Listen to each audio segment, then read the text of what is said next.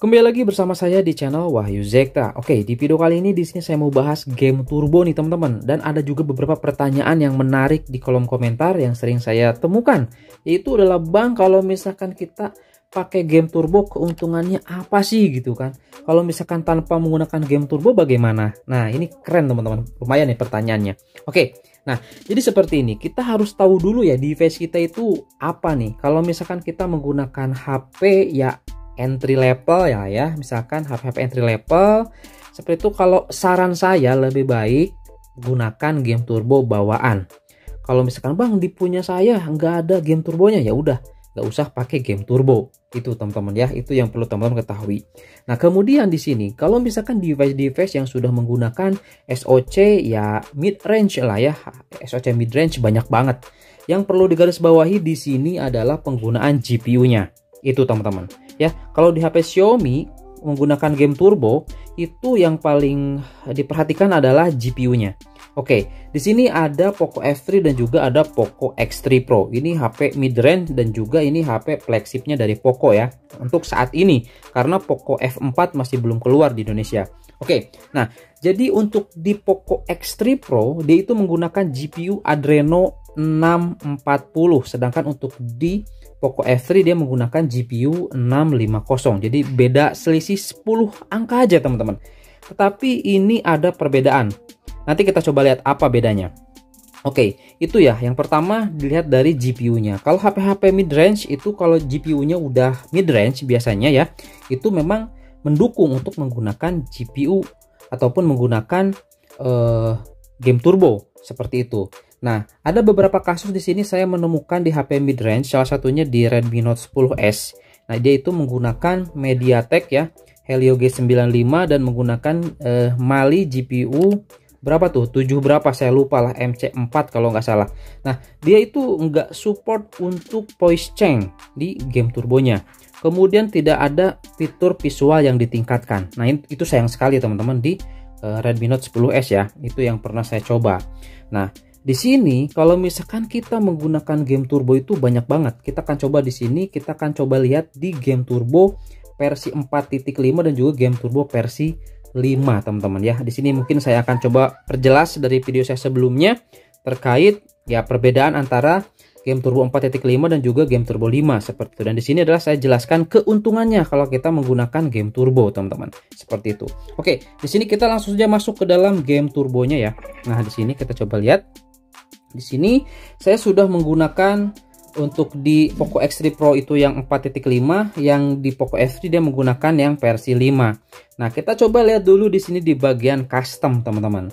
Nah, di bagian custom ini perlu teman-teman ketahui kalau misalkan kita menggunakan game turbo dan customnya ini enggak diaktifkan itu sangat sayang sekali, teman-teman wajib lah. Kalau misalkan ingin menggunakan game turbo di HP mid range ke atas lah itu ya. Itu wajib menggunakan GPU setting ataupun settingan custom seperti ini Bang bagaimana caranya? Aktifkan ya Bang. Bagaimana cara memunculkannya? Saya sudah buat tutorialnya khusus teman-teman ya. Nanti bisa cek saja linknya di deskripsi box teman-teman. Itu jelas banget. Saya buat banyak banget tutorial terkait itu karena masih banyak yang belum paham gitu. Bahkan yang terbaru kemarin saya coba aktifkan di Poco F3 di MIUI 13 itu bisa untuk GPU setting ini teman-teman. Seperti itu ya. Nah kenapa saya sarankan wajib diaktifkan? Karena fitur custom ini sangat apa ya berguna banget teman-teman seperti itu ya. Nah, contoh di sini kita coba lihat di bagian untuk di Poco X3 Pro ya yang atas, yang Poco F3 di bagian yang bawah. Nah, di sini kita bisa menggunakan resolusi 720p. Nah, otomatis kan nanti si gamenya itu jadi lebih ringan, teman-teman. Seperti itu.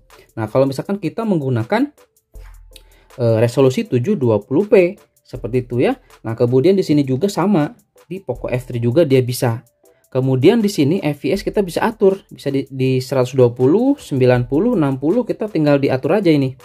Ya, perlunya berapa? Kalau saya sih di maksimalin aja lah di 120 fps, teman-teman. Seperti itu. Nah, kemudian ada anti aliasing, kemudian juga ada filter anisotropic dan lain sebagainya ke bawah. Nah, ini juga kalau misalkan kita coba di rata kanan semua, ini akan membebani banget si HP-nya teman-teman ketika kita bermain game. Nah, biasanya kalau misalkan kita tanpa menggunakan game turbo, dia itu akan default, akan otomatis mengaktifkan semua fitur yang ada di GPU-nya, teman-teman. Ingat itu ya. Makanya nanti HP-nya biasanya akan lebih cepat panas kalau misalkan menggunakan atau tanpa menggunakan game turbo.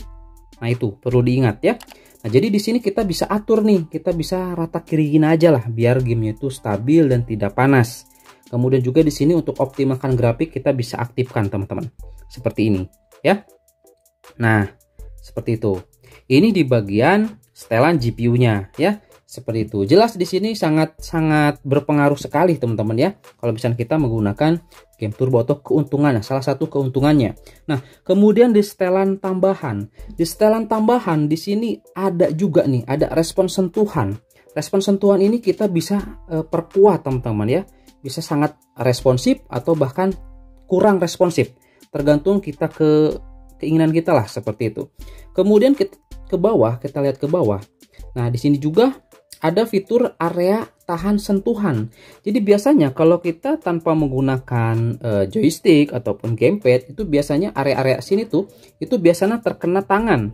Dan di sini kita bisa atur. Nah, jadi area ini tidak terlalu sensitif. Makanya nanti ketika kita bermain game dia itu tidak apa ya tidak mengganggu lah seperti itu. Nah kemudian di bawah di sini ada visual yang ditingkatkan. Nah visual yang ditingkatkan ini sangat bermanfaat sekali teman-teman. Jadi teman-teman di sini ingin warna gamenya itu seperti apa? Ini cerah, kuat, ya, ekstrim ya, kemudian sedang.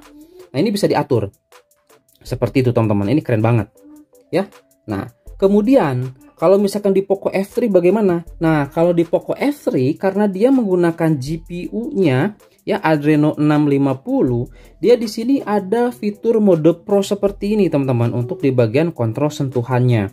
Jadi lebih tinggi lagi ini untuk spesifikasinya, teman-teman ya, termasuk juga SoC-nya kan dia menggunakan Snapdragon 870 kan. Seperti itu. Nah, kita juga bisa custom di sini customnya banyak, akurasi pengarahan, stabilitas ketukan, respons usapan, kemudian terus menerus. Nah ini kan lebih lengkap gitu kan. Terendah ada terendah rendah reguler tinggi dan tertinggi. Nah di sini saya biasanya menggunakan mode pro untuk di Poco F3 teman-teman. Seperti itu ya. Kemudian di paling bawah di sini juga sama ada seperti ini dan juga ada visual yang ditingkatkan. Nah kemudian pasti ada pertanyaan di sini bang kok punya saya nggak ada visual yang ditingkatkan? Nah itu biasanya bawaan dari GPU-nya teman-teman. Ya bawaan dari GPU-nya itu sendiri seperti contoh tadi ya di Redmi Note 10s dia nggak ada fitur visual yang ditingkatkan seperti itu kemudian sayangnya lagi di Redmi Note 10s dia tidak support untuk voice changer aduh sayang sekali teman-teman itu dia nggak support itu juga masih bawaan dari GPU-nya seperti itu ya. Oke, di sini udah jelas mungkin teman-teman untuk di GPU setting. Nah, jadi teman-teman di sini yang ingin menggunakan uh, game turbo wajib mengaktifkan custom ataupun GPU settingnya. Itu wajib ya. Kalau enggak ya percuma aja nggak bisa merasakan uh, keuntungan lainnya gitu. Oke, di sini kita coba masuk ke dalam uh, gamenya ya. Kita coba lihat UI dari uh, game turbonya teman-teman.